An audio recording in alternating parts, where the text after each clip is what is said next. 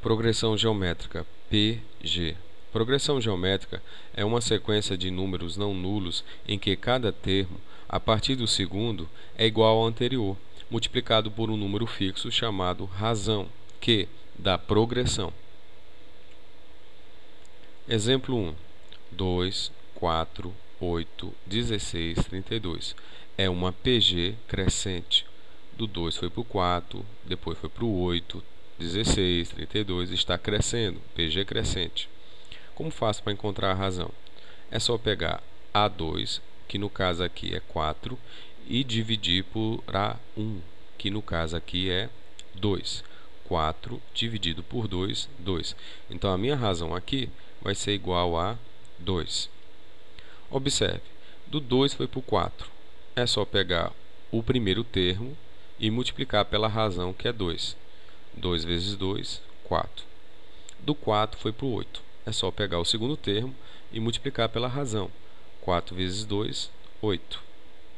Do 8 foi para o 16. Só pegar o 8 e multiplicar pela razão. 8 vezes 2, 16. Do 16 foi para o 32. Pega 16, multiplica pela razão que é 2, dá quanto? 32. E assim por diante. Exemplo 2. 32, 16, 8, 4, 2. É uma PG decrescente.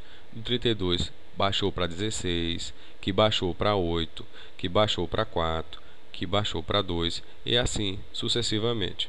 Professor, como faço para achar a razão? Muito simples pega a índice 2 e divide por a índice 1. Quem é a índice 2 aqui?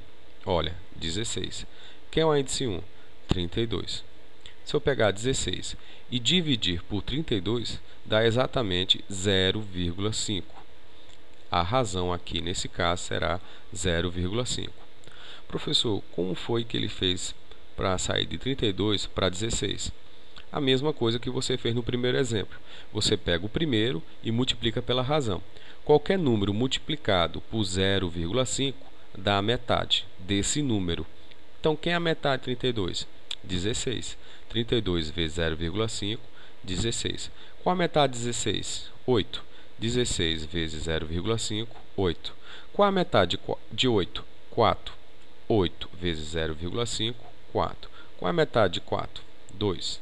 4 vezes 0,5, 2. E assim sucessivamente. Exemplo 3. 8, 8, 8, 8, 8, 8. E assim até o infinito. É uma PG constante. Professor, quando a PG for constante, qual vai ser a minha razão? A razão vai ser 1. Por que, que vai ser 1? Porque eu pego A2 e divido por A1. Quem é A2? 8. Quem é A1? 8. 8 dividido por 8, 1. Então a razão aqui é 1. Quando a razão for 1, a PG será constante. Veja aqui, ó. primeiro termo, 8. Foi para 8. Como foi? 8 vezes a razão, que é quanto? 1. 8 vezes 1, 8. 8 vezes 1, 8. 8 vezes 1, 8. E assim sucessivamente. Exemplo 4. 0, 0, 0, 0, 0. É uma PG constante. Só que a razão é indeterminada. Por quê, professor? Por isso, ó, você pega A2, que é quanto? 0, e divide por A1, A índice 1, que é 0. 0 dividido por 0 não pode, porque o denominador não pode ser igual a 0, tem que ser diferente de 0. Por essa razão que é indeterminado. A razão é indeterminada. Exemplo 5. 3 menos 6. 12 menos 24. 48 menos outro número. É uma PG oscilante. Como assim oscilante? Ora é positivo, ora é negativo. Ora é positivo, ora é negativo. Ora é positivo, o próximo número seria negativo.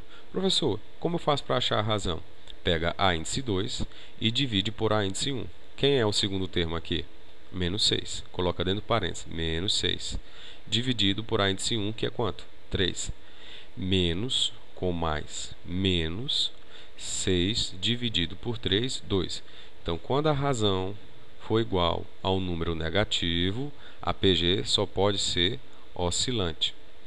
Presta atenção, eu vou pegar esse 3, que é o primeiro termo, e multiplicar por menos 2. Mas antes de multiplicar, o jogo de sinais, ó, mais com menos, menos, 3 vezes 2, 6. Vamos agora encontrar isso aqui, ó. Menos com menos, mais 6 vezes 2, 12. Jogo de sinais, ó. Mais com menos, menos 12 vezes 2, 24. Jogo de sinais, ó. Menos com menos, mais 24 vezes 2, 48. E assim sucessivamente. Exemplo 6. 8, 0, 0, 0, 0, 0, 0. É uma PG quase nula. Vamos encontrar a razão. A índice 2 dividido por A índice 1. Quem é A índice 2? 0. Quem é A índice 1? 8. 0 eu posso dividir por 8. Se eu pego 0 e divido por 8, dá 0. A minha razão aqui é igual a 0. Olha, professor, eu estava aqui no índice 1 e fui para índice 2, que é 0. Como foi? 8 vezes a razão, que é 0. 8 vezes 0, 0. 0 vezes 0, 0. 0 vezes 0, 0. 0 vezes 0, 0. E assim sucessivamente. Fórmula do termo geral de uma PG. AN é igual a 1 vezes Q elevado a N menos 1. Quem é AN? É o termo geral ou o enésimo termo ou termo desconhecido. Quem é A1? É o primeiro termo, A índice 1. Quem é N? É o número de termos e Q vai ser a minha razão. Exemplo 7. Calcule o terceiro termo da PG. 1, 5. Bom, primeira coisa que eu vou fazer aqui, encontrar a razão. Q é igual a índice 2 dividido por A índice 1. Quem é a índice 2? 5. Bota 5. Dividido por A índice 1. Quem é a índice 1? 1. Bota 1. 5 dividido por 1, 5. Quem é a minha razão aqui? A 5. A n é igual a 1 vezes Q elevado a n menos 1. Quem é esse n? É 3. E de onde vem esse 3? Calcule o terceiro termo. Ele está pedindo para você calcular o terceiro termo. Então, n é 3. Onde tiver n, coloca 3. A 3 é igual ao primeiro termo, que é quanto? 1 vezes a razão, que é quanto? 5, está aqui, ó, 5 elevado a n, que eu já disse que é 3, menos 1. A 3, terceiro termo, é igual a 1 vezes 5, 3 menos 1, 2. 5 elevado a 2. 5 vezes 5, 25. A 3 é igual a 1 vezes 25. Então, o terceiro termo é igual a 25. Vê se não tenho razão. Quanto é 1 vezes 5? 5. Quanto é 5 vezes 5? 25. Fórmula da soma dos n termos em uma PG. Primeiro caso, Q igual a 1. Quando a razão for igual a 1, a fórmula é essa. Soma de n termos é igual a n vezes a 1. Segundo caso, quando a razão for diferente de 1. Soma de n termos é igual a 1, primeiro termo, vezes, dentro parênteses, a razão elevado a n menos 1, fecha parênteses, dividido por q menos 1.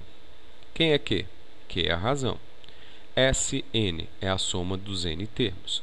E o n é o número de termos e a 1, ora, é o primeiro termo. Exemplo 8. Qual a soma dos três primeiros termos da PG?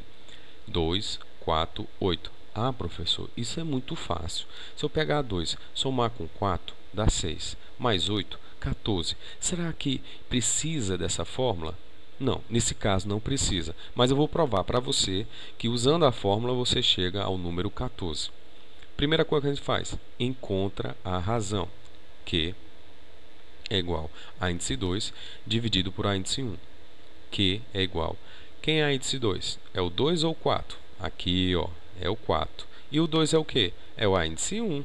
Então, 4 dividido por 2 dá 2. Então, a minha razão aqui vai ser 2. Soma de n termos é igual ao primeiro termo vezes, parêntese, razão elevado a n menos 1, fecha parênteses, dividido por q menos 1. Quem é n? Qual a soma dos três primeiros termos da PG? Então, n vai ser 3.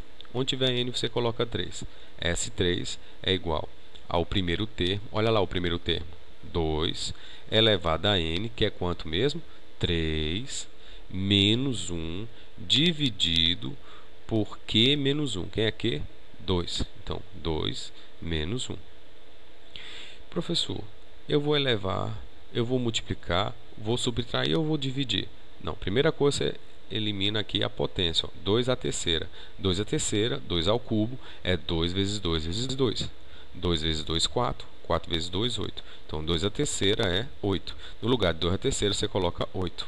Olha aqui embaixo. Não tem 2 menos 1? Quanto é 2 menos 1? É 1. Precisa colocar 1 aqui embaixo? Não, não é necessário. Então, a soma dos três primeiros termos é igual a 2 vezes 8, que é o resultado de 2 à terceira, menos 1.